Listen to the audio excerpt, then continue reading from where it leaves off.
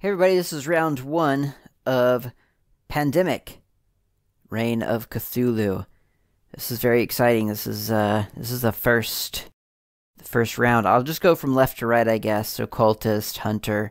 I don't I don't think there is an enforced initiative order, so I could probably go Hunter first if I wanted to. I don't know, maybe I do want to. The Hunter has uh, Arkham cards. And that's, I guess, okay. She has a bunch of relics, too, that she drew just by chance. And the occultist has three yellow cards. So actually, it might be better for me to, to, to declare that she goes first. The hunter goes first. Uh, and I need a marker. I need a marker to, to, to represent who's gone, maybe. Uh, I guess I'll use my, my my turn die. So um, she'll go first because she'll draw cards from the player deck. And if she draws, for instance, two yellow cards would be great. Then she could trade those yellow cards with the occultist and and the, the then the occultist could go close a gate. Our win condition is to close four gates. That's the win condition. There are a lot of other ways to lose. So the relics that I have uh, as the hunter is the Mi-Go Eye. The next gate requires one fewer clue card to, cards to seal. Put this card next to the player discard pile and discard it when the next gate is sealed. Okay, well that could be great. That means I really only need one yellow card. And then we could seal a gate. You can swap one clue card from your hand with a clue card in another player's hand, regardless of where you are. Oh, that's brilliant. Those are that's a great combo because that means the hunter can give the occultist a yellow card from anywhere at any time. Relics can be played out of turn, so that's pretty powerful, actually. That's a great starting combo. I think I'm just going to send her off to get rid of some cultists. So, she's going to start out here. Well, I mean, that's where she's starting.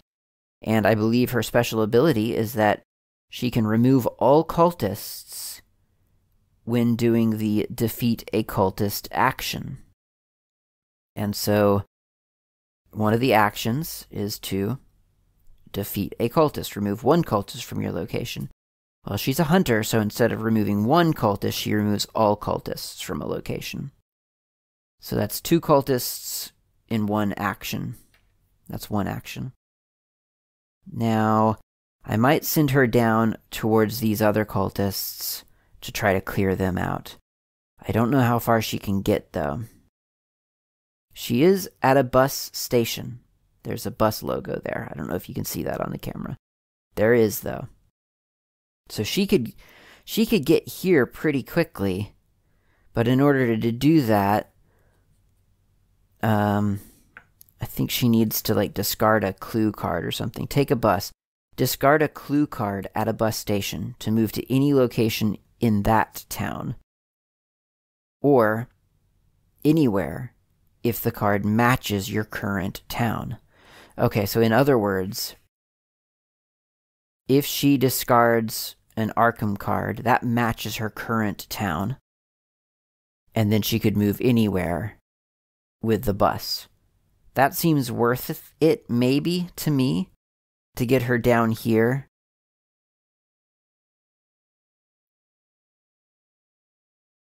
Maybe. I'm going to check to make sure I did this summoning thing right. I think I did this wrong. I think the sum the, the, the unused summoning cards are supposed to go back on the deck. And the reason I just thought of that is because No, place all drawn summoning cards face up on the summoning discard pile. Okay. Alright, the, the reason that would matter is because um, if these guys get an extra cultist added, then they summon an elder god, and that's one step closer to losing. But it sounds like that's not going to happen immediately. So she's done one action, which is get rid of two cultists. And she could discard an Arkham card to get all the way here. So that would be two actions, three, four actions, and then she'd be set up to get rid of them next. Or she could save her clue card and go one, uh, so one, two, three, four, and then she'd just be one away from them. I think I'm going to do that. One, two, three, and then four was the uh, was the getting rid of the cultists. So she is further. She's very close to this little cluster of cultists, which is good. Yep, I'm pretty happy with that. I think. Okay, so next up, she will draw two cards. I'm glad I saved that Arkham card because now she's got three Arkham cards, which she needs five to close a location, uh, and and a Kingsport uh, card. So let's just make sure closing it, sealing a gate. Discard five clues uh, at the matching gate. Remove one cultist from each location. Yeah, okay. So yeah, so she does need five cards to seal a gate. She's got three Arkham cards now. She has a seven limit, seven card hand limit. She's only got six, so we're good there. I think we can pass the turn over to the cultist. Now, the cultist's special action is that she can move one cultist up to two locations, and she can move. Wait a minute, I forgot something. It's not her turn yet.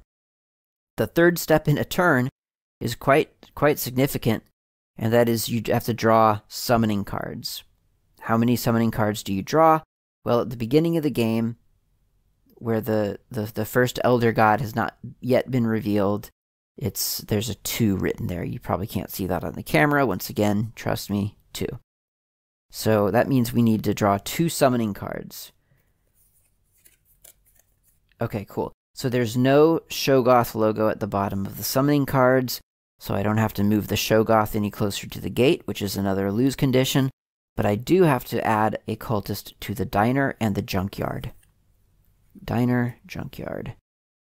Diner is here. Junkyard is somewhere in here. Here. Okay. That's not too bad. That's that's not the worst thing in the world. We can we can live with that right now. Now it's the occultist's turn. So, as I said, she can move cultists around against their will, which is kind of a cool ability, but I don't know if it's something that we need to do right now. Unfortunately, I don't know what she does need to do. I I feel like she should probably start heading down to um, Dunwich because that's her sort of specialty right now, just because she happens to have three yellow cards. Yeah, I think that's going to be the thing that she does. So, uh, occultist is going to move one, two, three.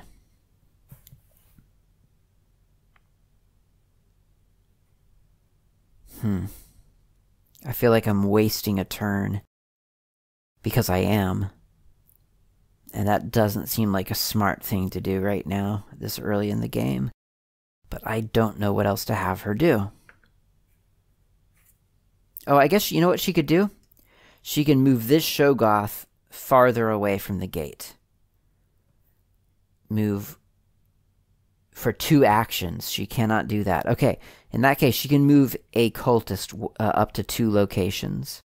So I think just because there's a cluster of three cultists here, and that's dangerous, I'm going to move for one action. She's going to move one cultist over here to the wharf. Cultists don't travel uh, of their own volition, so I don't need to really move them farther. I mean, I guess I could. I don't think it actually matters to have a cultist and a Shoggoth in the same location. Um, in fact, you know what? Having a having a cultist at a bus station is probably better than having them one square away from a bus station. So I think I will.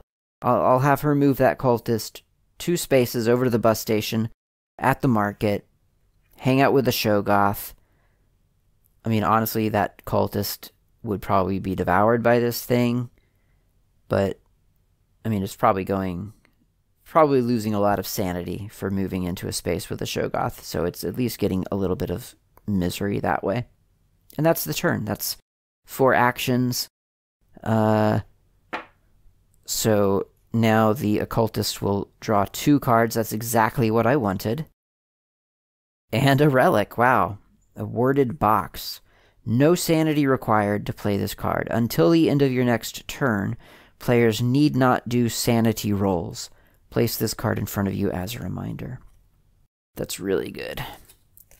All right, so that's one, two, three, four, four cards, and an Innsmouth and a warded box. Now,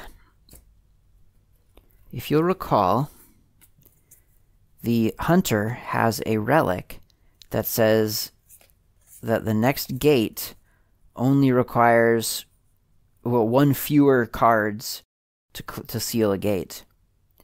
Which means that technically, if we use this relic and her yellow cards, that's enough to close that gate, to seal the gate. Which means that on the next round, she could seal that gate, which would be great. Uh, a sealed gate on round two feels pretty good. Not as good as a sealed gate on round one, but still feels pretty good. Alright, we're going to summon. Two summon cards. A wharf and a farmstead. Well, the wharf is exactly where that cultist was, so that was smart to spread that out, as it turns out, in retrospect. Because uh, you really just don't want them to cluster. That's that's the the main thing. You get three of them in one place, and they start summoning elder gods. That's it. No Shoggoths have moved. We've got a lot more cultists on the board. That's not good. But we've we've gotten a lot of cards. I, I feel cautiously optimistic right now about how this is going so far. It's going a lot better than my previous game, I'll, I'll tell you that. Um, great, cool. Next time, round two. Thanks for watching.